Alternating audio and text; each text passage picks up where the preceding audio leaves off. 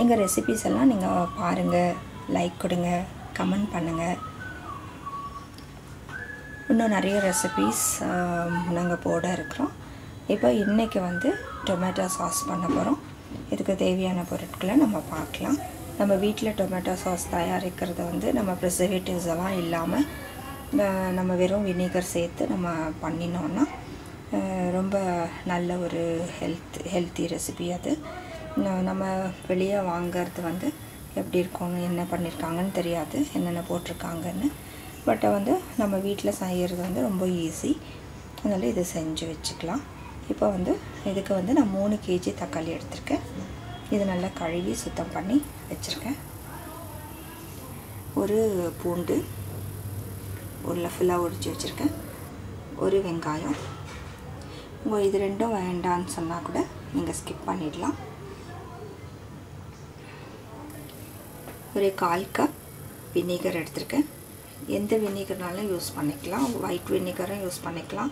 Apple cider வினிகரும் use பண்ணிக்கலாம். நான் இப்போ ஆப்பிள் சிடர் வினிகர் யூஸ் பண்ணுறேன் ஒரு கப் சர்க்கரை வச்சுருக்கேன். இன்னும் தேவை தேவைப்பட்டால் நம்ம ஸ்வீட்னஸ்க்கு போட்டுக்கலாம். சர்க்கரை வந்து இன்னும் கொஞ்சம் கூட தேவைப்படும் போட்டுக்கலாம்.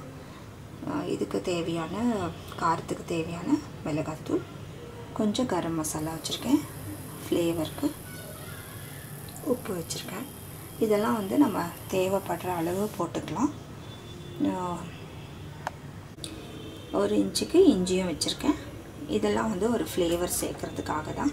இங்கே வந்து பூண்டு வெங்காயம் இஞ்சி எல்லாம் வேண்டான்னா சிம்பிளாக கூட செய்யலாம். இதுக்கு வந்து மிளகு கூட வேணும்னா நீங்கள் சேர்த்துக்கலாம். நான் சேர்க்கல.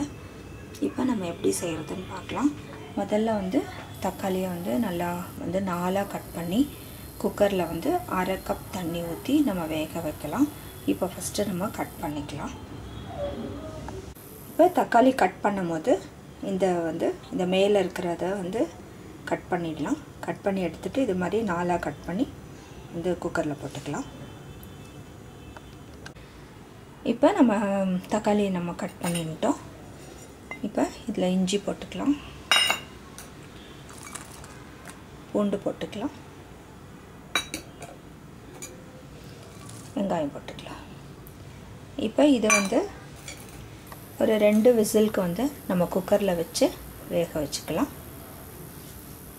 நல்லா மசிகிற வரைக்கும் ரெண்டு இல்லை மூணு கூட வச்சுக்கலாம்.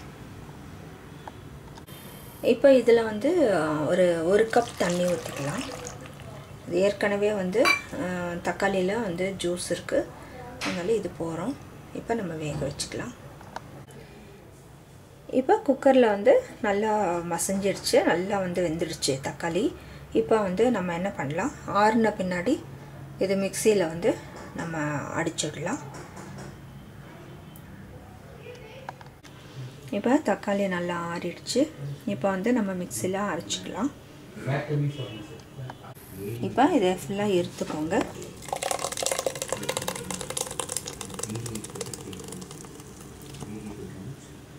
இதே மாதிரி வந்து எல்லாத்தையும் அரைச்சி எடுத்துக்கலாம்.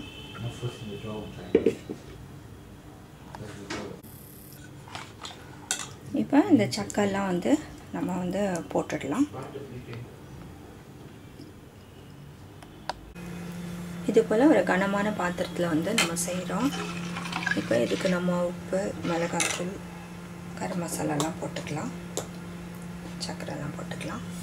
இப்போ நம்ம உப்பு போடுறேன்.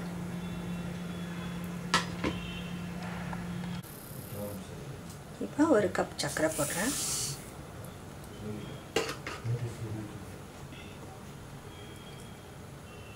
ஒரு ஸ்பூன் மிளகாத்தூள் போடுறேன்.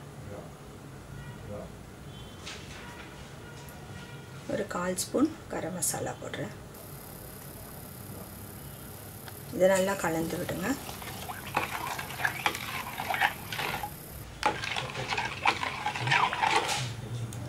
இப்போ இது நல்லா கொதிக்கட்டும்.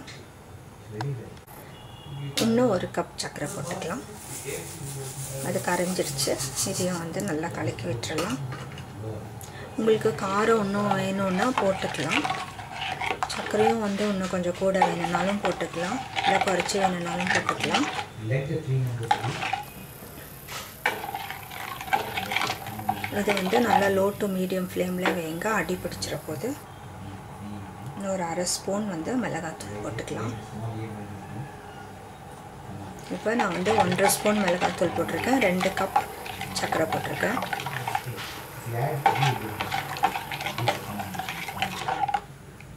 நல்லா திக்காக வரணும். அது வரைக்கும் நம்ம கலரிட்டே இருக்கணும். விடாமல் கலருங்க. இப்போ நல்லா கொச்சிடுச்சு. இது பாருங்கள் இப்போ ஈஸியாக வந்து ஃப்ளோ ஆகுது. இப்போ நம்ம சாஸ் வர பதம் வந்து நல்லா கெட்டியாக வரணும். அது வரைக்கும் கொதிக்கணும். அதனால் வந்து லோ டு மீடியம் ஃப்ளேமில் வச்சுருங்க. இப்போ பாருங்கள் நல்லா வந்து குறைஞ்சிருச்சு. நல்லா சுண்டி வறுத்து இன்னும் வந்து கொஞ்சம் திக்காகணும் பாருங்கள் இப்போ நம்ம ஊற்றும் போது அப்படி ஈஸியாக ஃப்ளோ ஆகக்கூடாது. கொஞ்சம் கெட்டியாக விழணும். அது வரைக்கும் இன்னும் இது பண்ணலாம். இப்போ வந்து நம்ம வினிகர் ஊற்றிக்கலாம்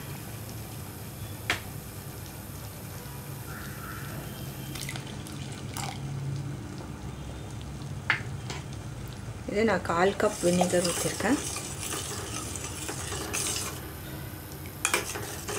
இது கொஞ்சம் திக்காகட்டும் இப்போ நல்லா சுண்டி வந்துருச்சு.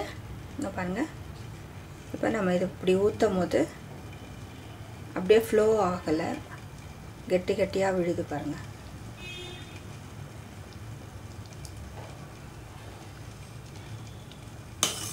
இது வரைக்கும் நம்ம வந்து காய்ச்சிக்கணும். இப்போ இது வந்து நல்லா ஒரு கண்டெய்னரில் பாட்டிலில் வந்து ஸ்டோர் பண்ணி ஆறின பின்னாடி நல்லா ஆறணும். ஆறின பின்னாடி பாட்டிலில் ஊற்றி ஸ்டோர் பண்ணிக்கலாம் ஃப்ரிட்ஜில்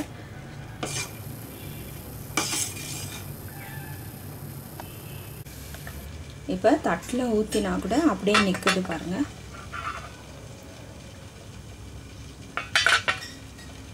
இந்த ஸ்டேஜ் வந்தோடனே ஆஃப் பண்ணிடலாம்.